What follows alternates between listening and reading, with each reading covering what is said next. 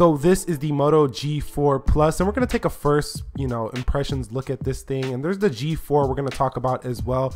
These are budget devices from Motorola that are gonna be released here shortly in 2016, you know, in about a month here. But they are running stock version um, Marshmallow 6.0 dot one and there's only going to be slight tweaks between the two devices such as this fingerprint scanner that you're seeing here and um, not too much different in terms of the design build but you can see it does have a, like a suede texture back now we're taking a look at the moto G4, the cheaper variant of the two. And the difference is this 13 megapixel camera. The Plus has a 16 megapixel camera, fingerprint scanner. But in terms of the screen, it's the same 1080p screen. And the screen looked pretty sharp to me. Not as sharp as something on like the Moto X Pure, but still pretty sharp nonetheless.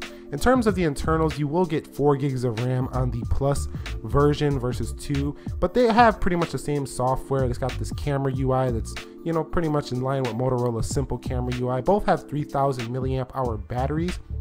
Both have Gorilla Glass 3 and both are going to be expandable up to 128 256 gigs. So you can see both of these side by side, pretty much the same phone with an addition of a fingerprint scanner. Both have the same body and build, but let's take it over to the back now and check this out. So you can see on the back side, they look exactly the same. And yes, there is a dimple by that M if you were wondering.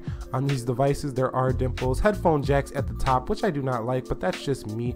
And uh, going off to the bottom, not sure if that's USB-C. We'll have to confirm that in future videos. But you can see over here to the right, this is plastic key along the sides of the device. It wasn't the greatest build phone I've ever seen, but not bad nonetheless.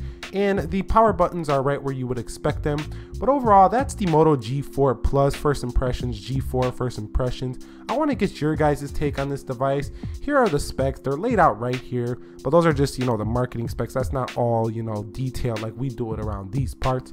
But that's pretty much going to wrap this video up. What are your guys' thoughts on this device? Please be sure to, you know, go ahead and drop the device thoughts that you have, you know, any video suggestions down below in this video, and I will catch you in the next one. Peace.